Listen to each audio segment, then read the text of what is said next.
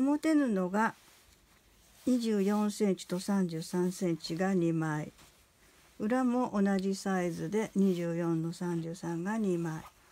そしてこの D 缶とこの紐ですね。これが9センチのものが1つ25センチのものが1つです。最初に型紙を作ります。ここが3センチこちらが8センチ。そしてこの3センチの下の方これが少しだけ1センチ5ミリぐらいまっすぐにしてそしてこの8センチのところを目指してこう。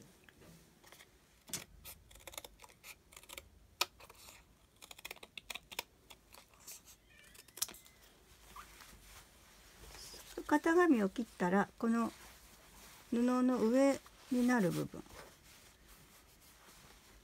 ここに印をします。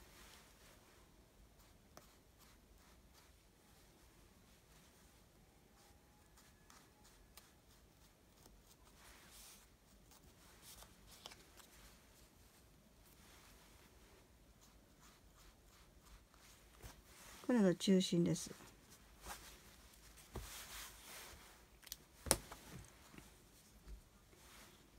中心1センチからここから 2, 2センチ。この位置から2センチ出してここが中心になる。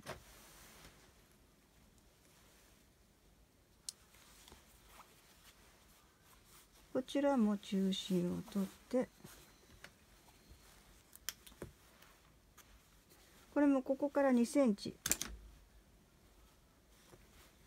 センチ出してこの中心に。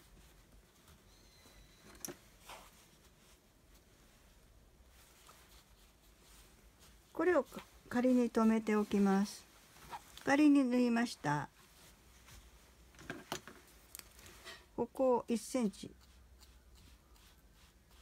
1センチの縫い代でこれ縫います。こちらも縫います。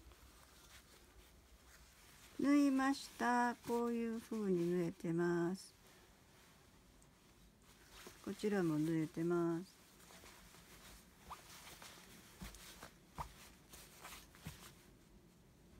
ここをアイロンでは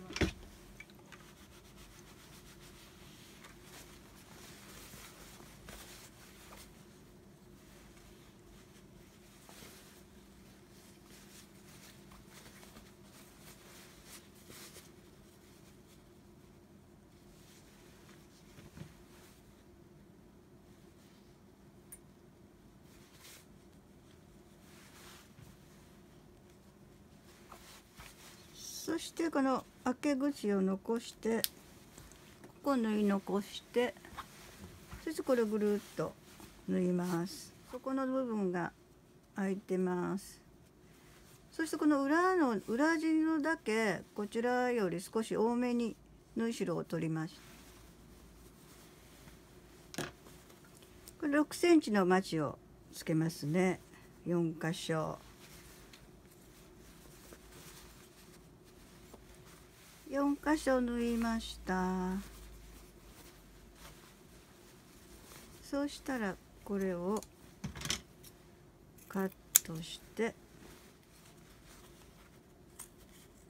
カーブのこの部分ここだけちょっと切り目を入れますね。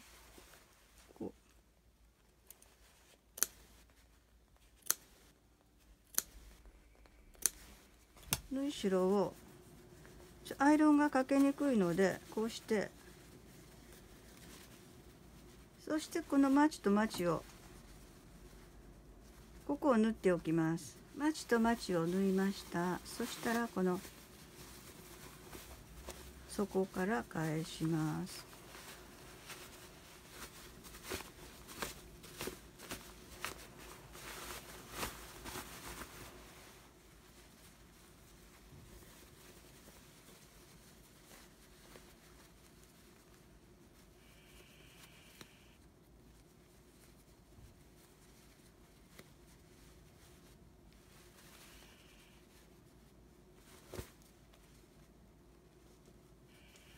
でしてこの開け口を縫っておきます。